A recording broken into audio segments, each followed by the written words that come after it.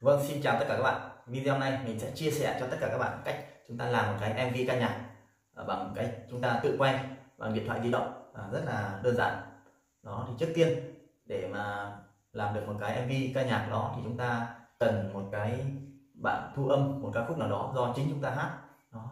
Thì các bạn có thể uh, hát trên uh, các cái bộ sao cả chúng ta thu âm kiếm một cái bộ nào hát làm sao cho nó trong trẻo nó ngon lành một chút đó như mình thì mình đang dùng cái bộ uh, bộ hát uh, Yamaha G4 thì nghe cũng khá là được. Đấy. còn nếu như các bạn không có cái bộ các cái bộ thu âm như thế này thì các bạn cứ lên CH Play tại cái ứng dụng iCara về. Đó và chúng ta hát chúng ta thu âm lại và sau đó chúng ta tải về điện thoại. Đó cái ứng dụng đó chúng ta hát thu âm nghe khá là hay rất là trong. Đó mà mình đã có một video mình đã hướng dẫn các bạn cách uh, thu âm và lưu lại làm uh, làm MV ca nhạc ở một video lần trước đó thế bây giờ chúng ta đã có một bản thu âm rồi. Thì sau đó chúng ta sẽ à, lấy điện thoại chúng ta quay. Chúng ta quay quay sau đó chúng ta hát lấy miệng chúng ta hát nhét theo cái ca khúc đó. Sau đó chúng ta mới ghép trên cái ứng dụng KineMaster đó thì bây giờ mình sẽ sẽ quay một vài cảnh để cho các bạn à, xem. Sau đó mình sẽ ghép ghép lại thành một cái video. Và bây giờ mình sẽ đặt một chiếc điện thoại mình đang quay ở một vị trí này và chúng ta sẽ À, quay lấy hình chúng ta đang hát nhép một ca khúc nào đó. À, nếu như chúng ta thuộc lời bài hát thì chúng ta cứ hát nhép theo thôi. Thế còn không thuộc lời thì chúng ta có thể lấy một cái ca khúc đó chúng ta mở mở nhạc lên chúng ta hát theo. À, chút lưu ý là chúng ta sẽ cất cái này đi không không để uh, cho máy quay nó quay thấy chúng ta đang cầm chiếc điện thoại này. Đó. ví dụ đây mình sẽ bật một cái bài hát mình hát lên. Cái bỏ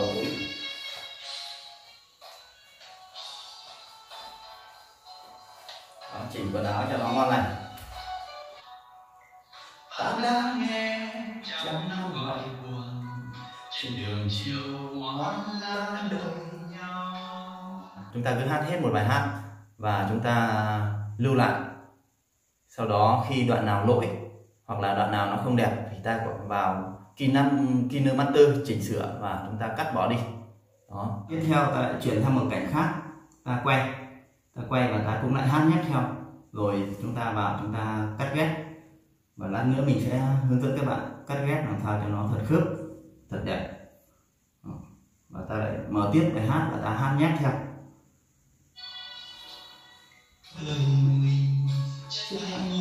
Không biết về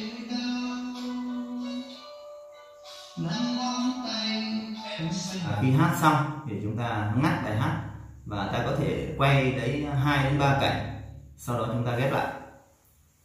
Mình sẽ quay thêm một cái cảnh khác và chúng ta sẽ cắt ghép. Giờ mình lại quay từ đầu.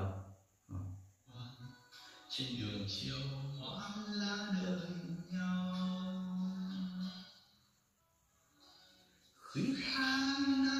Rồi xong một cảnh này ta lại có thể quay thêm. Hoặc uh, chúng ta quay đến một vài cảnh sau đó chúng ta ghép lại Vâng và bây giờ mình sẽ hướng dẫn các bạn cách cắt ghép chỉnh sửa cái video chúng ta vừa hát nhép uh, ờ, bằng cái ứng dụng KineMaster làm sao cho nó khớp với nhạc với uh, miệng chúng ta hát. Đó bây giờ chúng ta sẽ vào KineMaster và ấn dấu cộng này. Ấn tỷ lệ 169 này. Rồi ta vào đa phương tiện. Ta vào đa phương tiện. Và tiếp theo ta sẽ chọn tới cái ờ, video lúc nãy. Video lúc nãy chúng ta hát cái bản nào chúng ta cảm thấy nó nó đẹp nhất thì chúng ta đặt vào. Đó, ok đây ví dụ mình có một cái bản có sẵn như này. Đây ví dụ như này. Nói ok này. Đó. Và tiếp theo.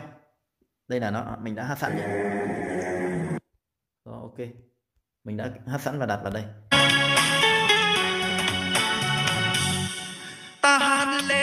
Rồi ok. Bây giờ mình sẽ hướng dẫn các bạn cách làm sao cho nó khớp với cái cái lời này. Đó. Thì trước tiên ví dụ cái cái nhạc mà chúng ta hát lúc nãy, cái video chúng ta quay, thì nó có nhạc thì chúng ta tắt đi, tắt đây. Ví dụ cái này là cái bạn chúng ta quay nhé chúng ta tắt nhạc đi, tắt nhạc đi. Và chúng ta ghép cái video, ghép cái bản thu âm của chúng ta vào cái này. Đó, ghép cái bản thu âm của chúng ta vào cái này. Đó, ví dụ một cái bản thu âm của mình đây.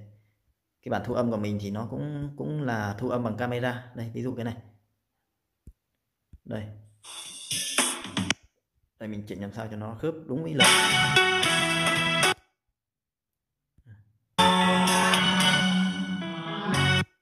rồi mình dịch ra đây để nhìn nhìn nhìn mồm hát thì mới biết được nó khớp hay không. Bạn đã khi cuộc đời còn đó nghĩa là cái lời này nó đang hát trước chúng ta phải nhìn làm sao? Làm sao cho nó khi cuộc đời còn những niềm đau. Ta đã nghe trăm năm gọi. Đó bây giờ chúng ta chỉnh làm sao cho nó cái cái bản thu âm chúng ta khớp với cái lúc mà chúng ta đang hát nhép. Đây. Đau ta đã nghe trăm ok. Đó đây là cái bản thu âm. Bản thu âm thì các bạn có thể thu âm hoặc các bạn có thể quay quay bằng video cũng được. Chúng ta cũng đặt lên đây và sau đó chúng ta gạt xuống đây là mất đi. À, đây là mất đi. Đó đây là bản thu âm nhé. Chúng ta đang nghe nhạc bằng cái bản thu âm này. Đây các bạn nghe này trăm năm gọi đùa. đó, ví dụ ta tắt đi tắt nhạc đi là không có đâu nhé Đó, ok thế bây giờ các cái video mà chúng ta ta quay tất cả cái video chúng ta quay hát nhép chúng ta phải tắt nhạc đi. Và ta chỉ lấy nhạc của cái bản thu âm chính. Đó ví dụ cái này cái này đang là cái bản thu âm chính. Cái bản thu âm uh, nhạc nó chất lượng hay chất lượng rất cao thì chúng ta đặt vào đây. Đó ok. Đó thì bây giờ đã được nhạc bản thu âm của chúng ta khớp với với một cái bài hát mà chúng ta đang thu âm. Đó, chúng ta chỉ cần cần lấy như vậy là được rồi. Thì bây giờ chúng ta sẽ ghép ghép thêm vào. Ví dụ cái đoạn này. Ví dụ cái đoạn này nhé thì chúng ta sẽ ấn vào lớp này. Ấn vào đa phương tiện này. Và chúng ta chọn đến camera. Camera chúng ta sẽ chọn tất cả những cái đoạn mà chúng ta ừ, hát nhép. Đó, thấy đoạn nào hay chúng ta ta cho vào. Đó, bây giờ ta lại phải căn cái này làm sao cho nó khớp với với cái uh, bản thu âm lúc nãy. Chúng ta căn làm sao cho nó đúng. Trăm năm gọi đó. Nếu chúng ta nếu chúng ta hát đúng một bài hát thì đặt nó dễ. Đây của mình đã cắt nó linh tinh đi rồi chúng ta chỉnh nó hơn. Ta đã nghe trăm năm gọi đây là đã khớp này. Đó bây giờ chúng ta đã tìm được cái đoạn nó khớp nhau. Thì chúng ta chỉ ví dụ chúng ta thấy cái đoạn nào nó không hay ta có thể cắt đi. Đây ví dụ ví dụ đoạn này nhé đặt như này các bạn đặt như này không được di chuyển. Nó ví dụ cắt thì chúng ta có thể cắt. Đây chúng ta có thể cắt có thể cắt đoạn này đi. Rồi. Đó đến đây. Đây ví dụ ta thấy thích nó hết một câu này. À. ví dụ chúng ta hát hết một câu ta, ta sẽ chuyển sang một cái cảnh khác. Niềm đau ta đã nghe ta sẽ lấy cái cảnh này thì ta đặt cái này lên. Đặt lên đây. Và ta kéo to nó ra. Kéo to nó ra. Đặt vào đây. Đó. Và tiếp theo này ta sẽ ấn vào cái trong hoạt ảnh này. Đây trong hoạt ảnh này. Trong hoạt ảnh ta sẽ cho nó mờ dần. Mờ dần và kéo tốc độ mờ dần về khoảng 2.5 đến 3 rồi ok. Đấy để khi hát chúng ta lưu ý này. Nhìn này. Ta đã nghe trăm năm gọi đùa trên trường nó đã chuyển sang một cái cảnh khác rất là từ từ. Đó ví dụ như này Đấy, các bạn. nghe trăm năm gọi đùa trên trường chiều hoa lá đợi nhau. Rồi ok. Tiếp theo ta có thể uh, chuyển sang một cảnh khác. Ta ta đến đây ta lại cắt đi. Hết một câu ta có cắt đó. khi tháng rồi ok. Và ta có thể cắt cái này đi. Cắt đi cắt đôi ra nhé các bạn trước tiên là chúng ta cắt đôi rồi ok. Và ta cứ để nguyên để nguyên mà trước tiên này các bạn các cái video này chúng ta tất cả chúng ta phải tắt tiếng đi nhá. Để nó không lẫn lộn với cái bản thu âm chúng ta. Đó, tắt hết tiếng đi. Khi mình đã thấy nó khớp với cái bản thu âm rồi khớp với miệng rồi thì chúng ta tắt hết tiếng đi. Đến đoạn này. Đến đoạn này ta có thể cắt đi. Lại cắt đi. Cắt bỏ đoạn này đi. Đó, khi nó hát đây ví dụ nó hát đến cái này là một cảnh khác này đây nó đang ở cảnh khác. Khi đến đây nó lại là cả một cảnh khác này. đấy ví dụ như vậy. Và tiếp theo này khi chúng nó cái lúc đầu thì chúng ta ấn vào cái trong hoạt ảnh này. Khi nó kết thúc kết thúc thì nó kết thúc cũng mờ dần. Từ từ thì chúng ta lại ấn vào cái hoạt ảnh xóa lớp cái hình tròn bên dưới này. Rồi ok. Và ta cũng lại cho nó mờ dần. Đó. Đấy khi khi chúng ta hát này. Khi tháng năm trôi qua đời. Tiếp theo nó chuyển sang cảnh này cảnh này không biết về đâu. Đó nó cũng mờ dần chúng ta lại cho nó mờ dần. Cũng cho mờ dần ok. Và chúng ta cắt đoạn nào? Ví dụ ví dụ đến đây là hết một câu. Ta đến tìm nhau. Ví dụ đến đây hết hết cái câu này ta lại cắt đi cắt bỏ. Ta lại cắt bỏ. Rồi ta cứ cắt đôi ra để nếu thấy đoạn nào xấu ta có thể cắt thêm. Đây ví dụ đến đoạn này và ta lại cho nó hoạt ảnh xóa lớp nó lại mờ dần đi. Rồi ta kéo đây lại mờ dần đi. Đây khi chúng ta hát này. Ta đến tìm nhau. Cảnh khác rất là hay. Rồi cái đoạn này ví dụ đoạn này ta không không thích nữa. Ta có thể xóa hết đi. Rồi ta có thể xóa hết đi. Rồi ok. Thế bây giờ mình sẽ chuyển sang một cảnh khác. Một chuyển chuyển sang một cảnh quay khác. Ví dụ một cái cảnh quay áo đen này đi rồi ta ví dụ như này chúng ta lại ấn vào lớp ấn ra phương tiện và chúng ta lại chọn vào cái cái cảnh quay này. Đó ok.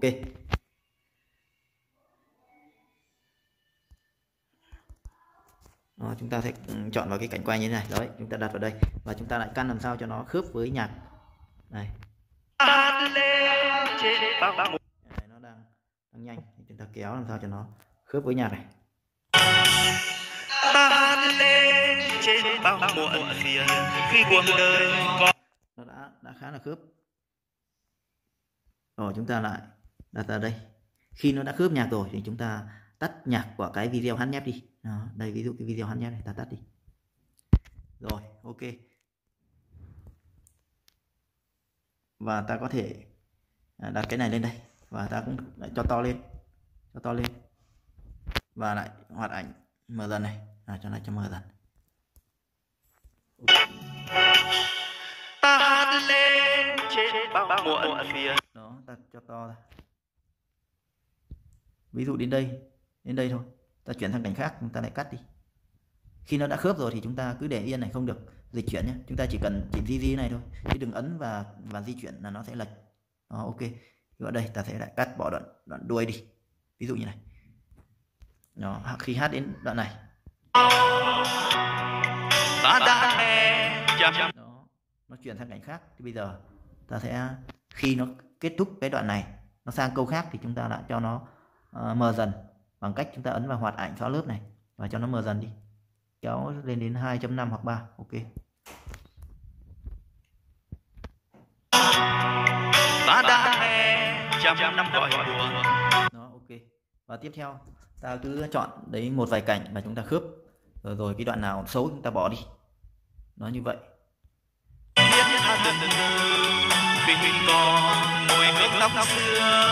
Đó.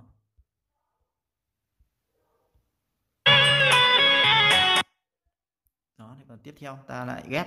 Chúng ta ghép bao hát bao nhiêu cảnh thì chúng ta ghép ghép vào. Cái nào xấu ta để uh, xóa đi. Cái nào đẹp chúng ta để lại đó. ví dụ cái này. Ta có thể lại cho thêm cái đoạn này vào vào đoạn cuối. Và chúng ta nhớ là chúng ta căn làm sao cho nó khớp với nhạc. Đấy và cứ như vậy chúng ta sẽ lưu lại. Đó, chúng ta lưu lại lưu cái video này lại là chúng ta đã được một cái video chúng ta hát nhé. Đó đây. Ta hát lên trên bao muộn phiền. khi cuộc đời còn những niềm đau. đó. Trăm năm gọi buồn trên trường chiều hoa đó đây hai cái video nó chồng lên nhau. Thì nó bị như vậy. Đấy. ta đã nghe trăm năm gọi buồn trên trường chiều nó khi hát hết cái này chúng ta lưu ý là chúng ta để cho nó mờ dần nhé. Để nó chuyển sang cảnh khác. Khi tháng năm trôi qua. Đó, ok. Thế tại sao nó lại có cái ờ, cái mây mây đằng sau này thì mình hướng dẫn các bạn luôn. Trước tiên để có mây có mây đằng sau thì chúng ta phải để một cái bức bức ảnh có mây. Đây ví dụ ví dụ như này. Mình đã có một cái ờ, làm trên Pixalope nó đang có mây như thế này. Đó, ok. Mình đặt ở dưới và tiếp theo mình sẽ chọn cái này lên trên cùng trên cái mây này. Đó, đó ok. Ok và bây giờ mình sẽ kéo xuống kéo xuống cái phần à, à, cái vàng vàng này mình à, blending này. Đó ok. Và ta sẽ chuyển nó về đây. Đây. Và blending. Landing đó, chúng ta ấn vào đây. Thấy chỗ nào nó rõ thì chúng ta đây ví dụ cái này đó tức là cái bờ tường nó đã bị xóa hết. Ta nghe trăm năm cõi buồn trên trường chiều đó ok. Đây tức là cái cái bờ tường đã xóa mà thay cái phông nền đằng sau bằng cái hình hình mây đang đang bay. Đó và cái như vậy chúng ta lưu lại. Chúng ta lưu, lưu lại. Mà trước tiên cái này thì cái này là mình đã viết trước chữ sẵn. Thì các bạn à, muốn viết chữ này thì chúng ta chỉ cần ấn vào lớp này. Ví dụ tên ca khúc này sáng tác à, sáng tác của ai à, trình bày là ai ví dụ như vậy. Thì chúng ta ấn vào lớp này chúng ta viết thôi rất là đơn giản. Ví dụ ca khúc này là ca khúc gì? Trên những niềm đau chẳng hạn. Ờ, trên những niềm đau à, chúng ta cứ viết viết chữ thôi. Nó ok rồi chúng ta đặt vào đây. Chúng ta đặt vào đây. Chúng ta chọn uh, kiểu chữ kiểu nào nó đẹp đẹp một chút là ok. Rồi chúng ta chọn màu chữ. Đây. Ok đấy ví dụ như này. Chúng ta đặt vào đây ở đây đây cái chữ chữ video gốc của mình đã để sẵn rồi. Thì đây ví dụ mình đặt vào đây rồi chúng ta viết thêm thêm chữ uh, người sáng tác người trình bày. Ok. Nó rất là đơn giản. Thì chúng ta ấn lưu lại ấn vào đây lưu lại. Export như vậy là xong. Đấy chúng ta ấn export như vậy là xong. Đó rồi. Xong là ta sẽ quay vào bộ sưu tập chúng ta tận hưởng cái thành quả chúng ta vừa mới làm. Đó. vừa mới thực hiện xong.